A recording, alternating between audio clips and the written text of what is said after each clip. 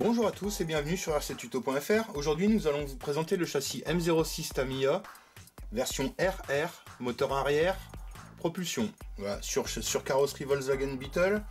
Donc euh, c'est un châssis à empattement réglable, euh, version euh, à assembler soi-même.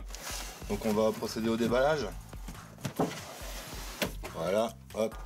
On va mettre ça là. Donc qu'est-ce qu'on trouve ici quand on déballe Ben voilà, tout est bien rangé déjà. Donc on tombe sur les chromes pour commencer. Donc par choc chromé, les phares, les feux arrière, les rétroviseurs des pièces de capot arrière ici voilà l'éclairage de plaque euh, ici nous avons un premier gros sachet avec euh, des ressorts d'amortisseur euh, des vis le moteur qui doit être un 15 tours d'origine Tamiya vous avez de la graisse une petite clé on va regarder ce qu'il y a dedans voilà donc qui est bien euh, avec ces kits, c'est que tout est réparti euh, par paquet. Donc vous voyez, vous avez le paquet A. Quand vous suivrez la notice, ils vous diront déballer le paquet A. Voilà. Donc vous déballerez le paquet A et tout ce que vous avez besoin est dedans. Donc ici, euh, voilà, on a la base, le pignon moteur, la clé, des paliers plastiques, de quoi faire le différentiel ici à l'intérieur. Là derrière, de la graisse. ensuite, on a ici un sauve-cerveau euh, des goupilles, du double face, des ressorts d'amortisseurs, encore des palonniers, des colsons. Voilà, toujours des mélanges de pièces, sac C, vous voyez.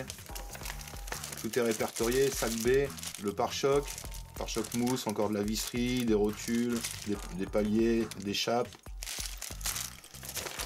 Ici on a la transmission, transmission plastique, voilà, donc euh, différentiel,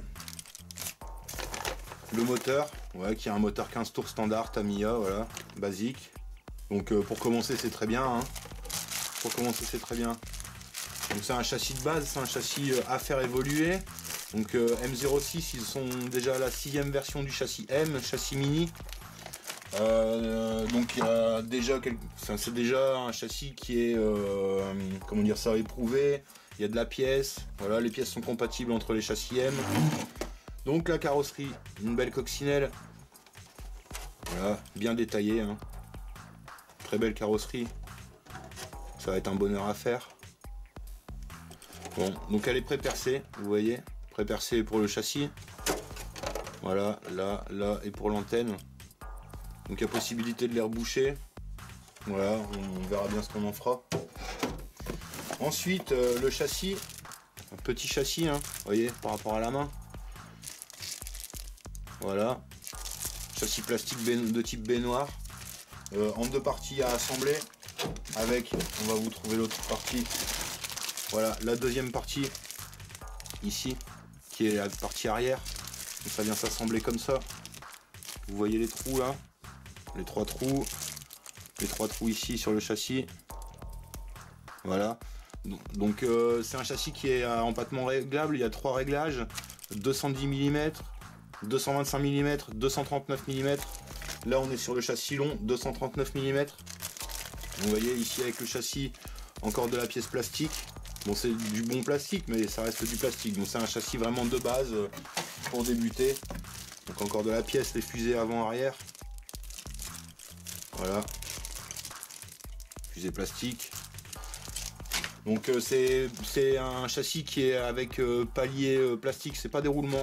Voilà, donc idéalement quand vous investissez un châssis comme ça, la première option c'est le kit roulement qui coûte pas très cher. Vous pouvez trouver ça à peu près à une trentaine d'euros, vingtaine d'euros.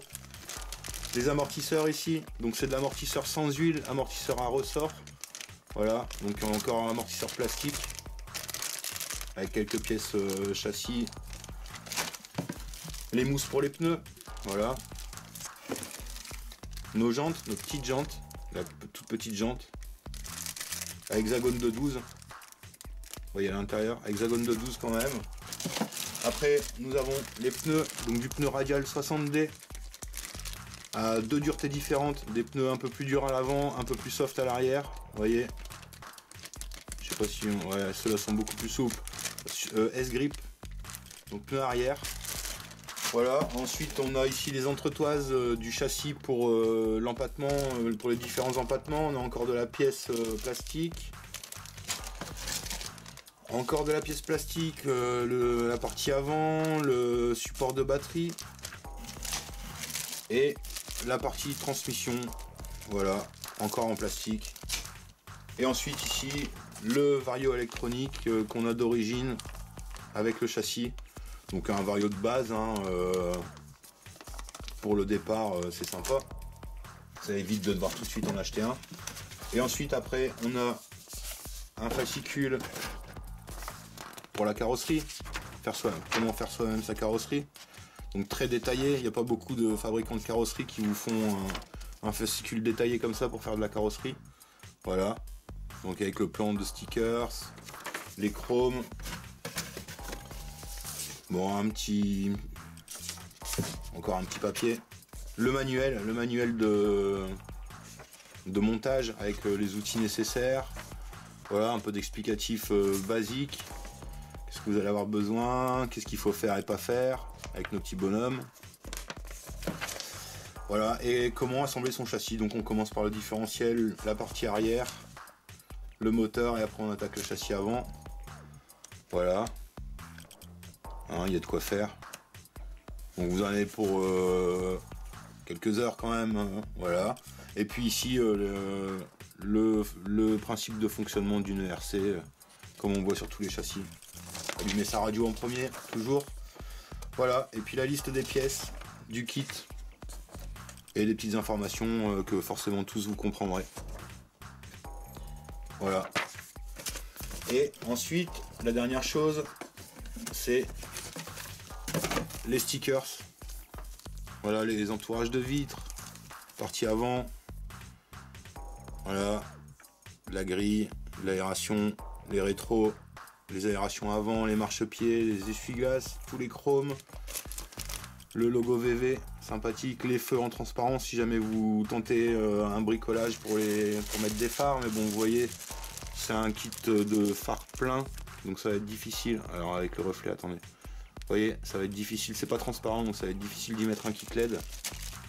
Voilà, donc euh, le châssis euh, M06 Tamiya, moteur arrière, transmission arrière, donc une propulsion. L'idée du projet, c'est de faire une cox euh, typée dragster, wheeling. Voilà, c'est ce qu'on aimerait bien. Donc on va essayer d'y mettre un gros moteur, préparer un petit peu le châssis avec quelques pièces salut, voilà, essayer de faire un truc sympa. Voilà, voilà, donc ça fera l'objet de plusieurs tutos, je pense, une petite vidéo d'essai, forcément, et l'évolution du châssis au fur et à mesure, avec les pièces qu'on va y rajouter. Donc merci de nous avoir suivis, n'hésitez pas à vous abonner à notre chaîne pour plus de vidéos, à faire un petit like sur notre page Facebook. C'était un tutoriel présenté en collaboration avec notre partenaire Asiatizobi. Merci de nous avoir suivis et à bientôt.